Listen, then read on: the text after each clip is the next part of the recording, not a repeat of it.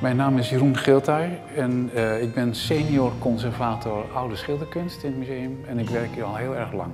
Als je naar het schilderij kijkt, kijkt hij langs je heen. Daar kijk je niet aan, maar langs je heen.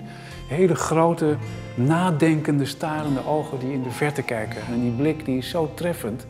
Het is ontzettend mooi geschilderd. En uh, ja, zo'n mooie... Een ander schilderij zijn er maar heel weinig eigenlijk. En dat is anders dan bij de gemiddelde portretten bijvoorbeeld die die schilderen. Die zijn dan goed. En we hebben hier in de zaal een portret hangen van Alotta Adriaans uit 1639. Nou, keurig portret, een hele belangrijke Amsterdamse dame. Goed geschilderd, maar ja, dat is het dan ook. Dan heb je een goed portret. Maar dit is heel wat anders. Dit is, dit is geen, ja, het is misschien wel een portret, maar het heeft zoiets uh, poëtisch eigenlijk gekregen.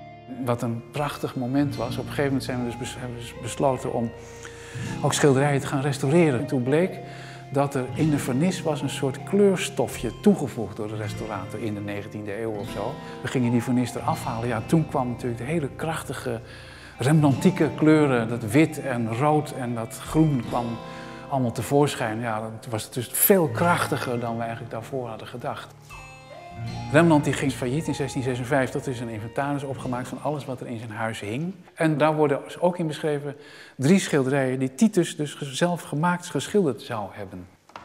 Bij die groep schilderijen hoorde ook dit schilderij, wat bij ons in depot was. En dat, was ooit, dat stond ooit op naam van Vermeer of van Fabricius, zo'n soort toeschrijvingen had het.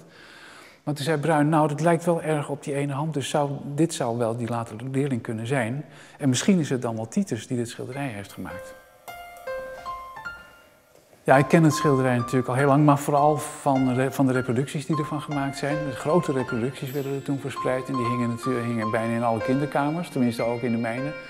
En ja, het was altijd zo'n vertrouwd mannetje was het altijd uh, om je heen. En het is een, door die gezichtsuitdrukking werd je als kind natuurlijk al getroffen.